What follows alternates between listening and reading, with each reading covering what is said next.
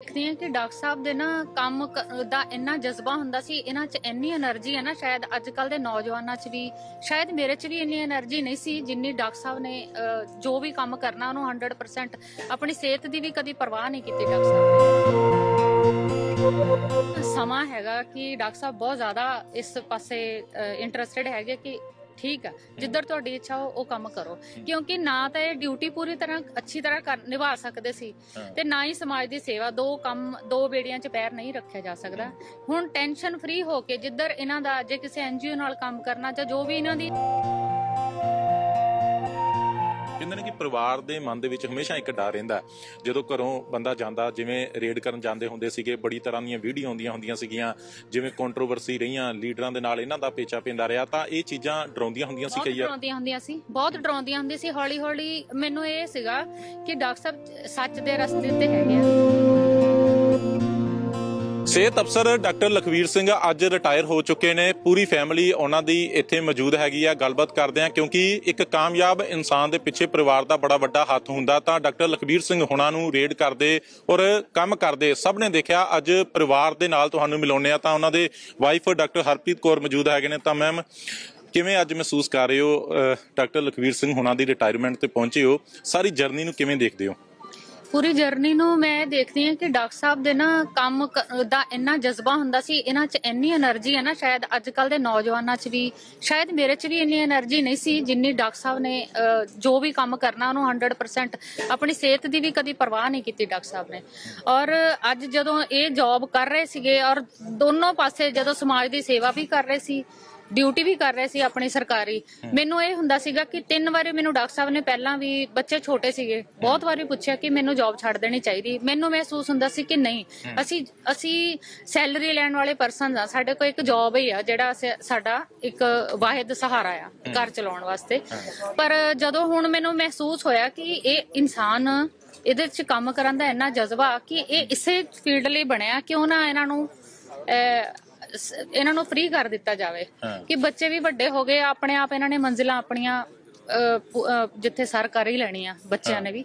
ਪਰ ਹੁਣ ਸਮਾਂ ਹੈਗਾ ਕਿ ਡਾਕਟਰ ਸਾਹਿਬ ਬਹੁਤ ਜ਼ਿਆਦਾ ਇਸ ਪਾਸੇ ਇੰਟਰਸਟਿਡ ਹੈਗੇ ਕਿ ਠੀਕ ਆ ਜਿੱਧਰ ਤੁਹਾਡੀ ਇੱਛਾ ਹੋ ਉਹ ਕੰਮ ਕਰੋ। ਕਿਉਂਕਿ ਨਾ ਤਾਂ ਇਹ ਡਿਊਟੀ ਪੂਰੀ ਤਰ੍ਹਾਂ ਅੱਛੀ ਤਰ੍ਹਾਂ ਨਿਭਾ ਸਕਦੇ ਸੀ ਤੇ ਨਾ ਹੀ ਸਮਾਜ ਦੀ ਸੇਵਾ ਦੋ ਕੰਮ ਦੋ ਬੇੜੀਆਂ 'ਚ ਪੈਰ ਨਹੀਂ ਰੱਖਿਆ ਜਾ ਸਕਦਾ।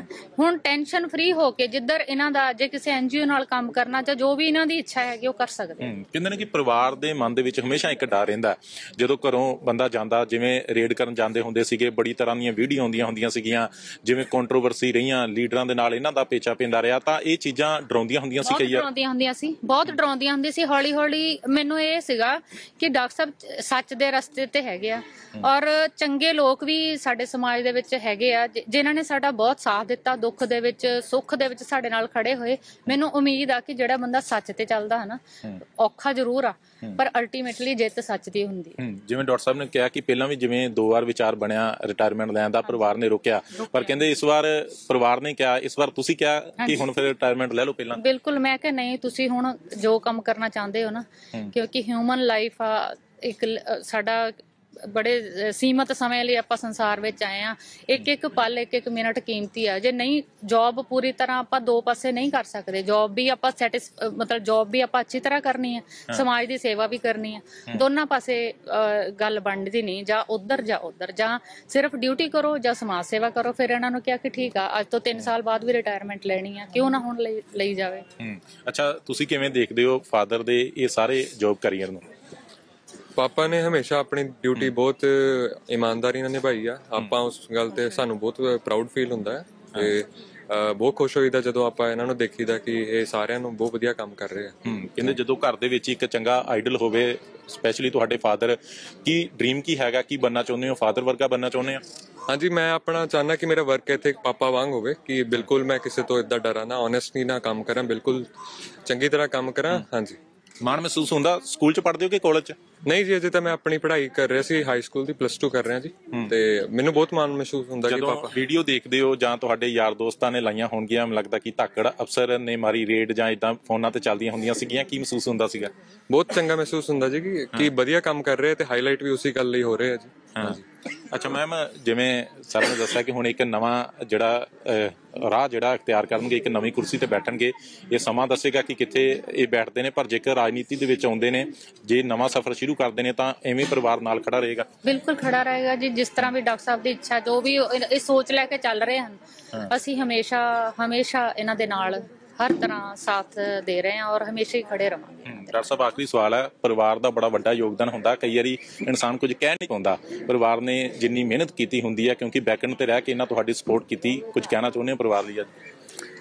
ਪਰਿਵਾਰ ਲਈ ਇਹ ਕਹਿਣਾ ਚਾਹੁੰਦਾ ਵੀ ਕਦੀ ਕਦੀ ਜੇ ਬੱਚੇ ਜਾਂ ਪਰਿਵਾਰ ਜਿੱਦਾਂ ਰਿਸਕ ਚ ਹੁੰਦੇ ਆ ਜਾਂ ਪੀਸ ਆਫ ਮਾਈਂਡ ਮੈਂ ਬੜੀ ਬੜੀ ਵਾਰੀ ਕਿਹਾ ਵੀ ਫੈਮਿਲੀ ਦੀ ਪੀਸ ਆਫ ਮਾਈਂਡ ਤਾਂ ਖਰਾਬ ਹੁੰਦੀ ਜਦੋਂ ਇਦਾਂ ਦੇ ਕੰਮ ਤੁਹਾਡੇ ਪੰਗਿਆਂ ਵਾਲੇ ਕੰਮ ਆ ਕੋਈ ਕੰਟਰੋਵਰਸੀ ਵੀ ਹੋ ਜਾਂਦੀ ਹੈ। ਪਰ ਮੈਨੂੰ ਲੱਗਦਾ ਪਰਿਵਾਰ ਦਾ ਸਾਥ ਬਹੁਤ ਜ਼ਿਆਦਾ ਰਿਹਾ। ਕਦੀ ਇਹਨਾਂ ਨੇ ਮੈਨੂੰ ਡੀਮੋਟੀਵੇਟ ਨਹੀਂ ਕੀਤਾ, ਕਦੀ ਡਿਸਕਰੇਜ ਨਹੀਂ ਕੀਤਾ। ਹਾਂ, ਬੇਟੀਆਂ ਮੇਰੀਆਂ, ਦੋ ਸਾਡੀਆਂ, ਤੇ ਬੇਟਾ ਆ, ਉਹ ਸਾਰ ਬੰਦੇ ਨੂੰ ਆਪਣੇ ਬੱਚੇ ਪਿਆਰੇ ਆ। ਤੇ ਪਰ ਮੈਨੂੰ ਲੱਗਦਾ ਜੇ ਸੋਸਾਇਟੀ ਲਈ ਮੈਂ ਇੰਨਾ ਕਰ ਪਾਇਆ, ਜਾਂ ਇੰਨਾ ਬੋਲਡਰੀ ਅੱਗੇ ਵੱਧ ਕੇ ਵੀ ਚਲਾ ਗਿਆ, ਇੰਨਾ ਰਿਸਕ ਲੈ ਕੇ ਵੀ, ਤਾਂ ਪਰਿਵਾਰ ਸਪੋਰਟਿਵ ਸੀਗਾ, ਬੱਚੇ ਸਪੋਰਟਿਵ ਹੈ ਤੇ ਅੱਜ ਜਿਹੜਾ ਐਡਾ ਵੱਡਾ ਡਿਸੀਜਨ ਆ, ਸ਼ਾਇਦ ਐਡਾ ਡਿਸੀਜਨ ਤਾਂ ਮੈਂ ਇਕੱਲਾ ਲੈ ਹੀ ਨਹੀਂ ਸੀ ਪਾਉਣਾ ਤੇ ਸੰਭਵ ਹੀ ਨਹੀਂ ਸੀਗਾ ਜੇ ਇਹਨਾਂ ਦੀ ਸਪੋਰਟ ਨਾ ਹੁੰਦੀ। ਔਰ ਮੈਂ ਇਹ ਫੈਸਲਾ ਜਿਹੜਾ ਅੱਜ ਲਿਆ ਆ ਇਹਦੇ ਚ ਐਕਸਕਲੂਸਿਵਲੀ ਮੈਂ ਜੇ ਕਹਾ ਇਹਨਾਂ ਦਾ ਹੱਥ ਹੈ। ਔਰ ਨਹੀਂ ਤਾਂ ਨਹੀਂ ਸੀ ਲੈਣਾ। ਇਹਨਾਂ ਨੇ ਮੈਨੂੰ ਕਿਹਾ ਵੀ ਛੱਡੋ ਹੁਣ ਜੌਬ ਛੱਡ ਕੇ ਖੁੱਲ ਕੇ ਕੰਮ ਕਰ ਸਕੋ ਇਹ ਸੀਮਤ ਖੇਤਰ ਹੈ ਕਿਉਂਕਿ ਅਸੀਂ ਖੁੱਲੇ ਆਕਾਸ਼ 'ਚ ਮੈਂ ਉੱਡਣਾ ਚਾਹੁੰਦਾ। ਇੱਥੇ ਮੇਰੇ ਖੰਭ ਵਜੇ ਹੋਇਆ ਕੱਟੇ ਹੋਇਆ ਪਰ ਹੁਣ ਫੇਰ ਗਾਹਾਂ ਮੈਂ ਉਹ ਲਾਤਾ ਜਿਹੜਾ ਮੈਂ ਆਪਣੇ, ਜੋ ਮੈਂ ਚਾਹੂੰਗਾ ਸਮਾਜ ਦੀ ਸੇਵਾ, ਦੁੱਖ ਬਹੁਤ ਵੱਡਾ ਆ ਵੋਲਿਊਮ ਬੜਾ ਵੱਡਾ ਪ੍ਰੋਬਲਮ ਦਾ। ਪੰਜਾਬ ਦੀਆਂ ਸਮੱਸਿਆਵਾਂ ਬਹੁਤ ਵੱਡੀਆਂ ਆ। ਔਰ ਮੈਨੂੰ ਲੱਗਦਾ ਹੁੰਦਾ ਵੀ ਜਿੱਥੇ ਜਿੱਥੇ ਜੇ ਕੋਈ ਸੀਰੀਅਸਲੀ ਜ਼ਿੰਮੇਵਾਰੀ ਨਿਭਾ ਰਿਹਾ, ਉਹ ਵੀ ਕਿਤੇ ਨਾ ਕਿਤੇ ਮੈਨੂੰ ਆਪਣੇ ਆਪ ਨੂੰ ਲੱਗਦਾ ਹੁੰਦਾ ਵੀ ਜੇ ਮੈਂ ਉਹਦੀ ਜਗ੍ਹਾ ਹੋਵਾਂ, ਤਾਂ ਮੈਂ ਇਦਾਂ ਕਰ ਸਕਦਾ। ਤੇ ਕਰ ਸਕਾਂਗਾ, ਨਹੀਂ ਕਰ ਸਕਾਂ ਕਾਲ ਪੁਰਖ ਦੀ ਮਿਹਰ ਹੈ, ਕਿਰਪਾ ਹੋਊਗੀ, ਦੇਖਾਂਗਾ ਕਿਦਾਂ ਕਰਦਾ। ਪਰ ਰੰਗਲਾ ਪੰਜਾਬ ਦੇਖਣਾ ਮੈਂ। ਆਪਣਾ ਪੰਜਾਬ ਸੋਹਣਾ ਦੇਖਣਾ। ਪਿਆਰ ਹੈ ਪੰਜਾਬ ਨਾਲ। ਉਹ ਕੰਮ ਕਰਕੇ ਹਟਾਂਗੇ। ਦੇਸ਼ ਨਾਲ ਪਿਆਰ ਆ ਪੂਰੇ ਨਾਲ ਪਰ ਪੰਜਾਬ ਦਾ ਕਰ ਲਈਏ ਪਹਿਲਾਂ। ਫਿਰ ਬਾਕੀ ਗੱਲਾਂ ਕਰੀਏ। ਬਸ ਇਹ ਆ ਵੀ ਬਹੁਤ ਵੱਡਾ ਮੇਰੀਆਂ ਬੇਟੀਆਂ ਮੈਨੂੰ ਇੰਨਾ ਕਹਿੰਦੀਆਂ ਉਹ ਵੀ ਬੇਟਾ ਵੀ ਵਾਈਫ ਵੀ ਤੇ ਤਾਂ ਹੀ ਅੱਜ ਇੱਥੇ ਖੜੇ ਆ। ਤੇ ਤੁਸੀਂ ਵੀ ਜੇ ਮੇਰੇ ਨਾਲ ਜੁੜੇ ਆ ਉਹਦੇ ਚ ਵੀ ਇਹਨਾਂ ਦਾ ਹੱਥ ਆ ਕਿਉਂਕਿ ਮੈਂ ਵੱਧ ਕੇ ਕੰਮ ਕਰਦਾ ਸੀਗਾ। ਔਰ ਮੈਂ ਤੁਹਾਨੂੰ ਇਹ ਕਹਿਣਾ ਚਾਹੁੰਦਾ ਜ਼ਰੂਰ ਵੀ ਮੈਨੂੰ ਆਪਣੀ ਜਾਨ ਹਰ ਇੱਕ ਨੂੰ ਪਿਆਰੀ ਹੁੰਦੀ ਹੈ ਜੀਣਾ ਹਰ ਕੋਈ ਚਾਹੁੰਦਾ ਆ। ਜਾਣਾ ਕੌਣ ਚਾਹੁੰਦਾ ਦੁਨੀਆ ਤੋਂ? ਪਰ ਮੈਨੂੰ ਲੋਕਾਂ ਦਾ ਹਿੱਤੇ ਤੋਂ ਜ਼ਿਆਦਾ ਵੱਡਾ ਲੱਗਦਾ।